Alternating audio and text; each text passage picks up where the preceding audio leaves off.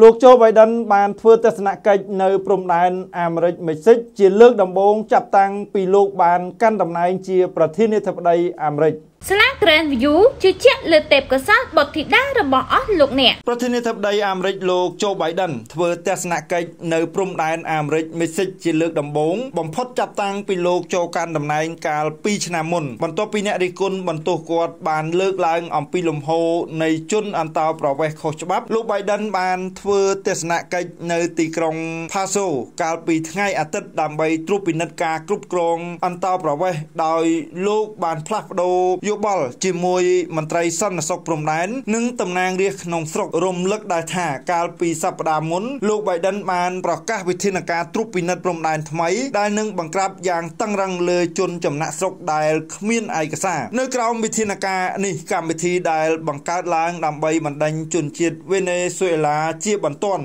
ដែលឆ្លងកាត់ព្រំដែនដោយខុសច្បាប់និងត្រូវបានពង្រីកដើម្បីគ្របដណ្ដប់ជនចំណាក់ស្រុកខុសច្បាប់ពីប្រទេសផ្សេងៗប៉ុន្តែគណៈបកសាធារណរដ្ឋបានរិះគន់លោក Biden ដោយនិយាយថាគោលនយោបាយអន្តោប្រវេសន៍របស់លោកមិនគ្រប់គ្រាន់ទេលោក Biden មានគោលបំណងបង្ហាញពីការបដិញ្ញាចិត្តរបស់គាត់ក្នុងការដោះស្រាយបញ្ហាជនអន្តោប្រវេសន៍តាមរយៈការទៅទស្សនាតំបន់ព្រំដែនគាត់ត្រូវបានគេរំពឹងថានឹងលើកយកបញ្ហានេះនៅក្នុងកិច្ចប្រជុំជាមួយប្រធានាធិបតីមិចស៊ិកនៅថ្ងៃច័ន្ទ Oh, the Grandview School, I, I like it very much. This school has um, a good, good foundation with, with uh, phonics, with um, the very beginning of, of to learn for, for reading ចាជំរាបសួរមេដាបេដាសិស្សនិងអាណាព្យាបាលទាំងអស់ដែលមានចំណាប់អារម្មណ៍ចង់នាំបុត្រធីតារបស់លោកនេះមកចុះឈ្មោះនៅសាលារៀន Grand View សាលារៀន Grand View មានទីធ្លាធំទូលាយមានកន្លែងក្មេងលេងត្រាស្មៅពណ៌បៃតងស្រស់បន្ទប់រៀន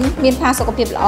សាលារៀន Grand View មានបញ្ចុះតម្លៃ10%ទៅដល់30%មេដាបេដាសិស្សឬអាណាព្យាបាលទាំងអស់ដែលមានចំណាប់អារម្មណ៍ចង់នាំបុត្រធីតារបស់លោកនេះមកចុះឈ្មោះចូលរៀននៅសាលារៀន Grand View គឺមានទីតាំងស្ថិតនៅខាងជើងវត្តទួលមានចម្ងាយ20ម៉ែត្រឬក៏អាចទំនាក់ទំនងតាមរយៈលេខទូរស័ព្ទ070 438 439ឬក៏មួយខ្សែទៀតដែលមានលេខទូរស័ព្ទ078